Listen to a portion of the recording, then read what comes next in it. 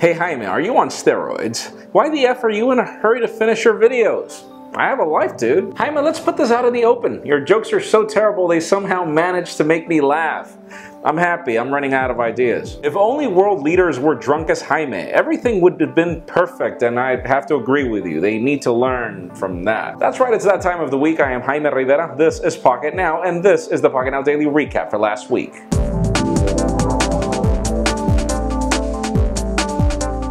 Monday was about Android 6.0 Marshmallow. I asked you, what did you think about the name as Google had just made it official. We had 872 comments. We start with, I'm going to cook some marshmallow over my new Snapdragon 810 Fire Pit tonight.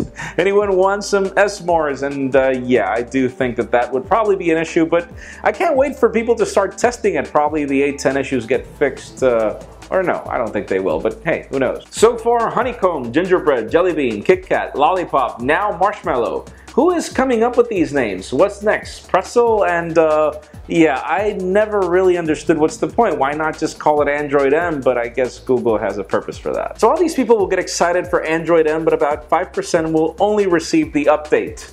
Uh, yeah, I have to agree with you. That is the saddest part about Android, that not very many people will give it a try. Tuesday was about iPhone. There are rumors of a 5-inch iPhone that will probably launch along with 6S and 6S Plus, but this device will be probably sort of a mid-ranger. I asked you which one would you pick out of all of these. We have 612 comments we start with rocking the 5S 4-inch and not planning on getting another phone until this one breaks. And yes, the 5S has turned out to be such a good phone that a lot of people have not upgraded, and I don't blame them.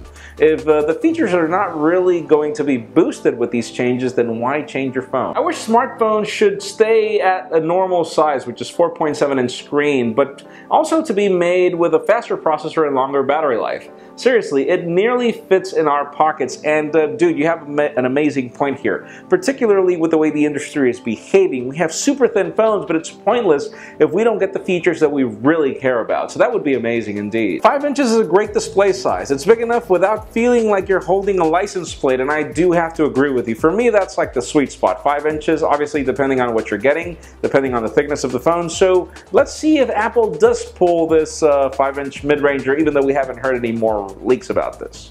Wednesday, I asked you how important is smartphone durability to you. We saw a full test of the probable iPhone 6s chassis and its durability when compared to the iPhone 6, and the results were staggering. It was almost three times superior. We have 588 comments we start with. Doesn't matter if when you drop the phone, the screen looks like, well, you dropped the phone.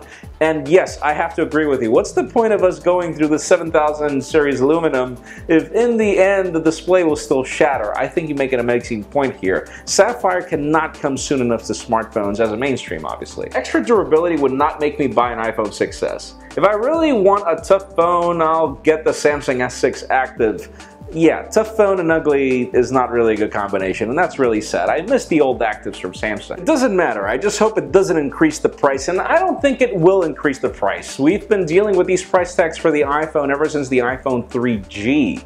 Uh, which is a long time ago. So I feel that the price points will remain the same, but if the storage options do remain the same, then we understand what Apple is doing here, uh, which is terrible.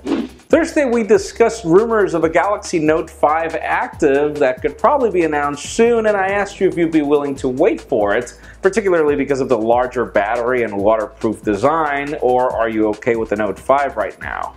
We have 696 comments we start with.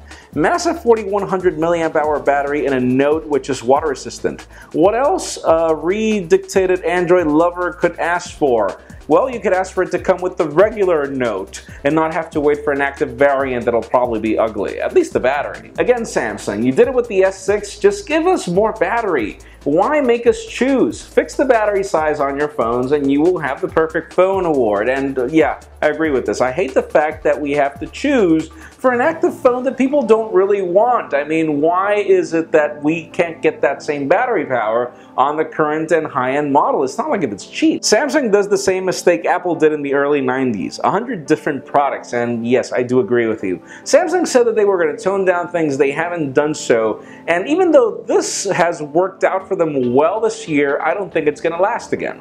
Finally, Friday, the topic of discussion was the Apple Watch and the complaints from users of the watch being damaged, particularly the Apple Watch Sport. And I asked you, what do you think that Apple should do with this? We have 366 comments we start with. Apple Watch is too expensive and fancy for nothing. Yes, I can afford it, but Tim Cook don't deserve my money. And I do agree with you. I mean, the Apple Watch Sport in particular is not cheap for what you're getting. So hey, it should be better, at least better designed than materials. Apple never had a reputation for durable products. Since the iPhone 4 and aluminum MacBooks, their products have gotten too delicate. And I'm sure the rest of the world, or at least a good amount of people, don't agree with that. Actually, it's the other way around. It's because of these premium materials that a lot of people prefer Apple products, but those premium materials are not necessarily durable, and that's what Apple is working on. What happens when you rush out to buy a first generation product to just be like everyone else? You deal with the problems just like everyone else, and yes, I do agree with you. It's the problem of the early adopter, and it's happened with every single Apple product. They are very conservative with the first one, then they fix it, and even though I hate that, it just makes you want to wait for the Apple Watch 2 and hopefully be surprised. That's it for the Pocketnow Daily Recap. Thank you very much for watching. A couple of tips if you want your comments to be featured. Number one, keep them short. Number two, stick to the point. Number three, try to get some thumbs up. It helps us spot them a lot easier. You can also follow us on social media and subscribe to our YouTube channel as well. You can follow me on Twitter, Jaime underscore Rivera, or on Instagram at Jaime Rivera. Please give this video a thumbs up if you like what you saw. I am Jaime Rivera. Thank you very much for watching. We'll see you next week.